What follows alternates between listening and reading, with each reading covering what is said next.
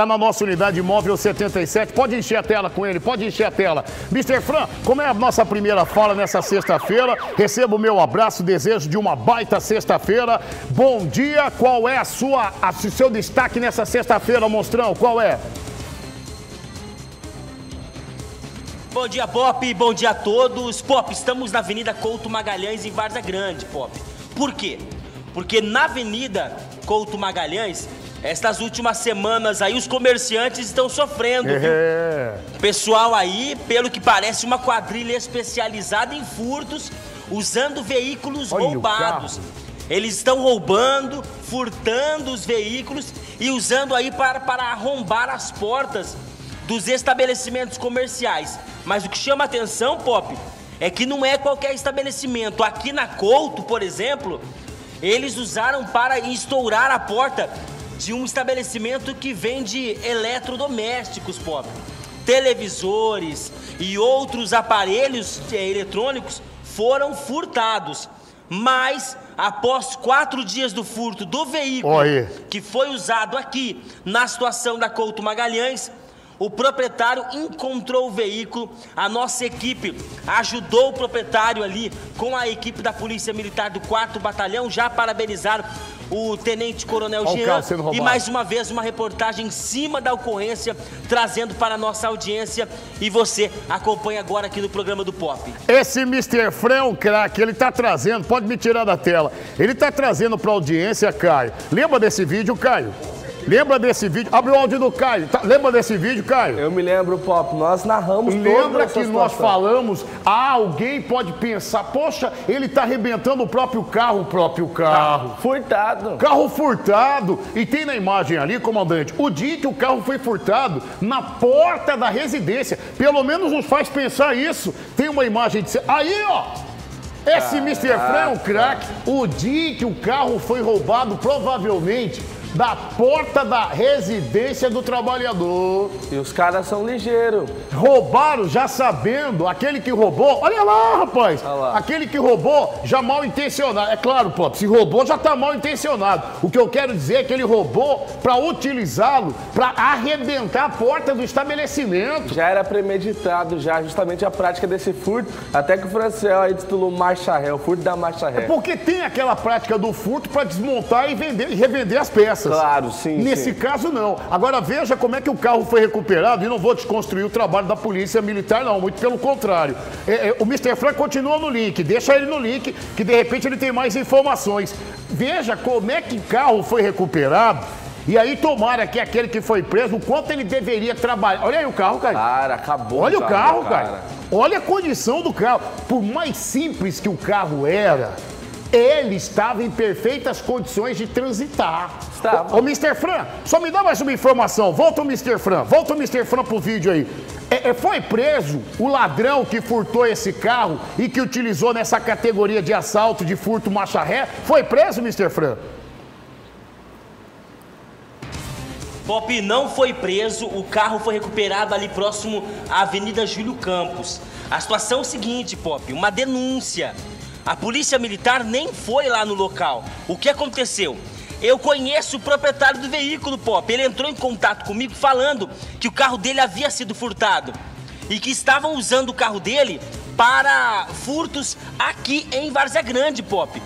Quando ele falou isso, eu já compartilhei as imagens com as equipes dos oficiais de área aqui de Várzea Grande e eles ficaram já três dias, quatro dias em cima. O que aconteceu? O carro andando perfeitamente, abandonaram o veículo próximo a um salão de cabeleireiro bem pertinho da Avenida Júlio Campos e entraram em contato com o proprietário. Ah, E aí o proprietário entrou em contato comigo falando: Fran, achamos o carro, estou indo pra lá, vou te mandar a localização. Tô falando. Eu fui junto, mas Pop, entrei em contato com a polícia militar. Os policiais militares falaram: ó, nós não precisamos levar o carro pro CISC aqui em Varza Grande. Entendi. Leva para Cuiabá, entendi. próximo ao Detran, na delegacia de roubos e furtos.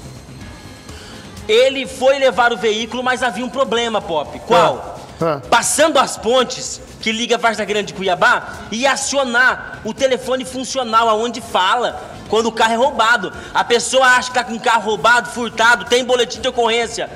Tem queixa de roubo. Você tá passando de boa? Não tá, não. O bicho pega. Porque os policiais sabem cada carro que passa pela, pelas pontes de Cuiabá com Varza Grande. E aí eu avisei a equipe do quarto batalhão, avisei as equipes do primeiro e do décimo, falando que o veículo ia sair de Varza Grande e adentrar Cuiabá.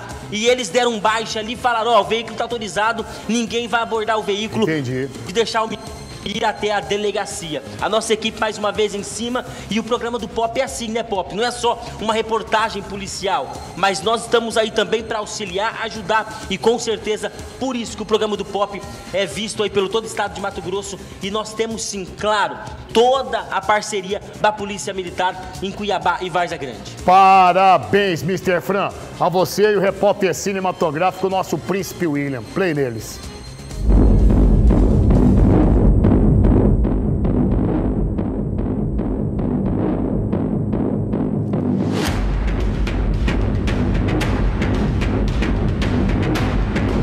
Nossa equipe chega aqui próximo à Avenida Júlio Campos, Pop.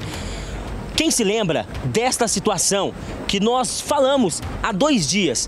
O nosso repórter Arthur Garcia trouxe para a nossa audiência um furto ali na Martinello, na Avenida Couto Magalhães, em Varza Grande.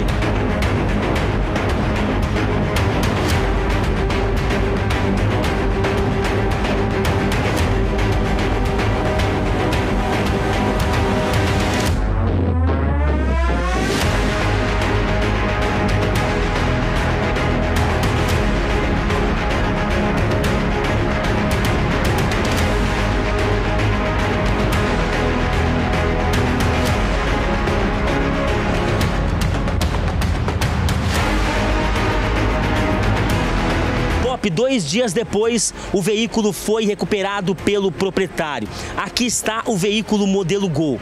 Já foi informado via CIOSP e agora o proprietário está se deslocando para Cuiabá, aonde vai dar baixa, Pop, no veículo, porque está com queixa de furto. A nossa equipe de reportagem acompanhando, dá uma olhada, é um golzinho, modelo antigo. A frente também está bem danificada, a traseira onde eles usaram para quebrar ali os pilares e invadir a loja Martinello e praticar o furto.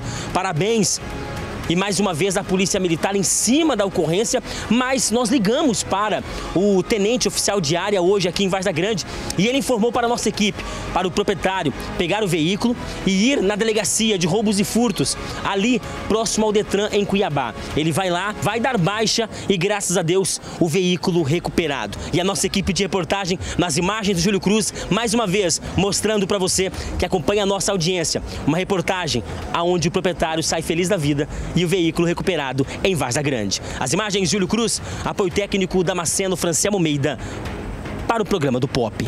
Fran, eu não vou discordar de você, mas não sei se ele ficou alegre, feliz da vida quando viu o carro, não. Não, Julinho, você tava lá filmando lá. Assim, ah, acharam seu carro. Ave Maria, que bacana que seu. Puta merda. Mas não é? Desgaçaram o carro dele, rapaz. Não, não, parabéns aí, recuperaram. O carro dele tava. Ah, pô, mas o carro, o carro não era novo, não era novo, mas tava em perfeito. É, como é que fala? Pra circular. Olha aí, o carro arrebentado. Hein, Denis? Eu tô dizendo assim a reação do proprietário do carro quando falaram assim, alegria, ah, acharam seu carro. Ele, ah, vamos lá, eu não quero, quero ver. Aqui seu carro. Ele, ah, rapaz. Um abraço pro Bill, pra mãe do Bill e pro filho do Bill. É alegria. Alô, Bill! Um abraço pro Bill. Ai, ai, ai. 11 horas e 49 minutos. Que... Bom dia, passando para agradecer o veículo. Eu estou utilizando bom humor, nego verde, porque o carro, por mais simples que seja, ele estava em perfeito estado para circular e não tomar nenhum enquadramento de nenhum agente de trânsito, né? Aqui, se você andar assim, você vai tomar baculejo e vai parar mesmo. Baculejo não, vai, vai parar o pisca esquerdo, o direito, é, é, o para-choque. Mas que bom. Decreditado que vão-se os anéis, fica o dedo. Mas o dedo fica com dívida pra caramba. Tem que aí, né? Tá bom, nego velho. Nego velho, parabéns, tá? Parabéns.